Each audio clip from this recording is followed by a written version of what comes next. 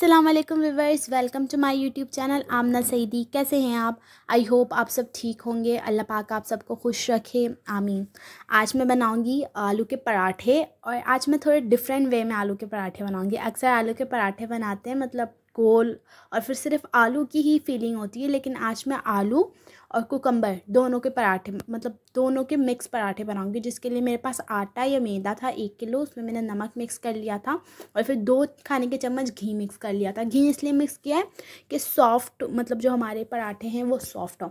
और आलू के पराठे, आपको नॉर्मल पराठे बनाते वक्त भी आपने एक चीज़ का ध्यान रखना है, आपका जो तवा है वो मतलब गर्म हुआ हुआ हो, ठंडे तवे पे आपने रोटी नहीं डालनी है, वरना कड़क हो जाती है। जब हमने तमाम चीज़ों को मैदा या आटे के साथ मिक्स कर लिया था, नमक और घी को, उसके बाद हमने पानी को बॉईल कर लिया था, गर्म पानी से आपने आटा गूंदना नीम गर्म या फिर गुनगुना कह सकते हैं, उससे आपने आटा गूंदना और मैं ऐसे भी गर्म पानी से ही आटा गूंदती हूँ, क्योंकि गर्म पानी की जो रोटी होती है, वो सॉफ्ट बनती है, ठंडे पानी की इतनी अच्छी नहीं बनती है। मैंने इधर गर्म पानी मिक्स कर लिया, गर्म पानी मिक्स करने के बाद मैं आटे को गूँध लूँगी। गूँधने के बाद मैं आटे आटे को तकरीबन आधे या पंद्रह मिनट के लिए ढक के रख दूँगी। जो हमारा डो है, वो अच्छे से प्रिपेयर हो जाए। और तब तक के लिए मैं फीलिंग तैयार कर लूँगी। फिर अगर अभी तक आपने मेरे चैनल को सब्सक्राइब नहीं किया है तो आप मेरे चैनल आमना सईदी को सब्सक्राइब करें और आप मेरे चैनल को विज़िट करें। आपको वहाँ पर बहुत अच्छी अच्छी और इन्फॉर्मेशनल वीडियोज़ मिलेंगी जो आपको कुकिंग में हेल्प करेंगी। और अगर आपको मेरी कोई भी वीडियो अच्छी लगती है तो आप वहाँ पर लाइक करें और अपनी फैमिली और फ्रेंड्स के साथ भी ज़रूर शेयर करें। देखिए, इधर मैंने जो ज़ीरा होता है, धनिया धनिए को मैं अच्छे से भून लूँगी। खुश फ्लेवर या खुशबू के लिए हम आलू में इसको डाल फ्लेवर या खुशबू के लिए हम इसमें डालेंगे। देखें, हमने इमाम दस्ते में अच्छे से जो हमारा धनिया था उसको कूट लेंगे। जब हमारा जो धनिया है वो अच्छे से कूट लिया और या फिर मतलब थोड़ा सा आ, क्रंची मतलब खुरकुरे टाइप उसके बाद हमारे पास पटाटो है आधा किलो तकरीबन। हमने एक किलो आटा लिया तो आधा किलो आलू होगा जिसे हम अच्छे से मैश कर लेंगे और उसमें तमाम इंग्रेडिएंट्स मिक्स करेंगे। सबसे पहले हमारे पास धनिया पाउडर है जो हमने हिमाम दस्ते में कूट लिया था। उसके बाद हमारे पास रेड चिली फ्लेक्स है लाल कुटी हुई मिर्च दो खाने के चम्मच। इधर मैंने अपने टेस्ट के अकॉर्डिंग यूज़ किए क्योंकि हमारे घर पर थोड़ी ज़्यादा मिर्चें खाई जाती है। आप अपने टेस्ट के अकॉर्डिंग यूज़ कर सकते हैं लाल मिर्च। उसके बाद हमारे पास दो मीडियम साइज़ के प्याज थे जिसे हमने बारीक कट कर लिए थे। प्याज को आपने एकदम बारीक कट करने अगर आपने प्याज को मोटे कट किए तो आपके जो पराठा है वो फट सकता है। उसके बाद धनिया। मुझे तो धनिया बहुत ज़्यादा पसंद है पराठों में इसलिए मैंने भर के इधर बहुत सारी क्वांटिटी में धनिया डाला है। आप अपने टेस्ट के अकॉर्डिंग धनिया डाली के उसके पास सॉल्ट भी टेस्ट के अकॉर्डिंग ही डलता है।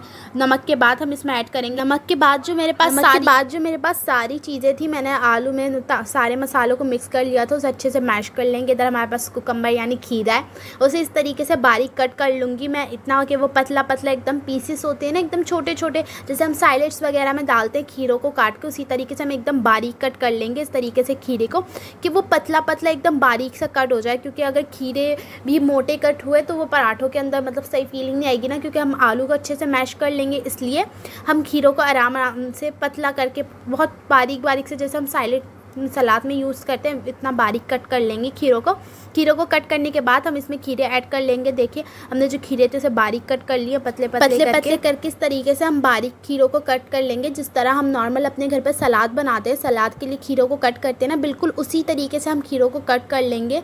उसके बाद हमारे पास जो आलू का भुट्टा बनाया था हमने फीलिंग के लिए उसमें हम खीरों को ऐड करके अच्छे से मिक्स कर लेंगे।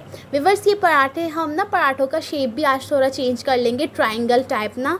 तिकोन, क्योंकि तिकोन पराठा, थोड़ा न्यू वे में पराठा बना रही थी तो मैंने सोचा उसके बाद मैंने खीरों में आलू आलू का जो फीलिंग थी उसमें मैंने खीरे मिक्स कर लिए मेरे पास आटा था आटे की जो मैंने डो आटा गूंद के रखा था उसे तकरीबन मैंने आधे घंटे के लिए ढक के रख दिया था ताकि हमारी जो डो है वो अच्छे से प्रिपेयर हो जाए। उसमें अब मैं ऊपर से घी लगाऊँगी। घी मैंने एक्चुअली में मैंने घी लगा के मतलब आटा गूंद के ऊपर से घी लगा के ढक गया था ताकि आटे की जो डो है वो अच्छे से प्रिपेयर बाद मैंने इस तरीके से जो हम सिंपल रोटी बेलते हैं वैसे करके मैंने रोटी बेल ली थी। रोटी बेलने के बाद मैंने रोटी में आलू की जो फीलिंग है आलू और कुकम्बर की हमारी जो मैंने फीलिंग तैयार की थी, उसे तिकोन शेप में इस तरीके से आलू की मेरी जो रोटी, बेली हुई रोटी थी, बेली हुई रोटी के ऊपर रख देंगे, इस तरीके से तिकोन शेप करके ट्राइंगल शेप आप जिसे कहते हैं ना ट्राइंगल शेप में हम इसे रख देंगे।